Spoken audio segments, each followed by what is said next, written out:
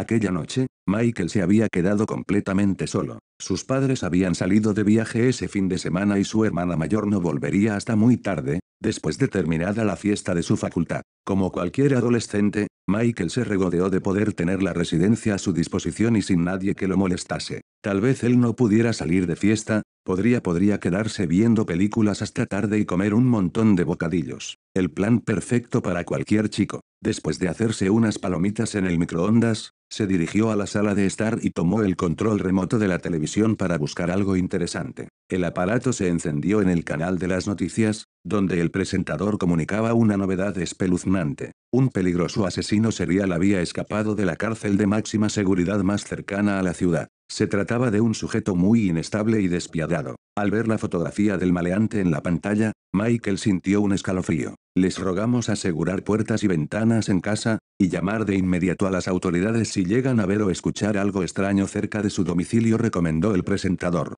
Michael dejó todo lo que estaba haciendo y corrió a asegurar la puerta principal y las ventanas. Justo cuando estaba por relajarse, recordó que tenía que ocuparse de la puerta corrediza del jardín. Preocupado, fue a ponerle el seguro cuando notó algo que lo dejó paralizado, a través del cristal de la misma. Afuera, el mismo asesino al que había visto por la televisión lo estaba mirando fijamente, de pie sobre la nieve. Una sonrisa malsana se dibujó en sus labios y Michael sintió temblar sus piernas. Colocó con fuerza el seguro en la puerta y, sin dejar de mirarlo a los ojos, palpó con su mano sobre la cómoda cercana, para tomar el teléfono. Solo bajó la mirada un segundo, para marcar el número del 911, pero cuando volvió a mirar hacia afuera se dio cuenta de que el fugitivo se encontraba mucho más cerca. Aterrado, Michael agachó la mirada, tragó saliva y esperó a que el aparato terminara de marcar. Buenas noches, ¿ha llamado usted a emergencias? ¿En qué puedo ayudarle? habló la voz de una mujer joven al otro lado de la línea. Hay un asesino en mi jardín.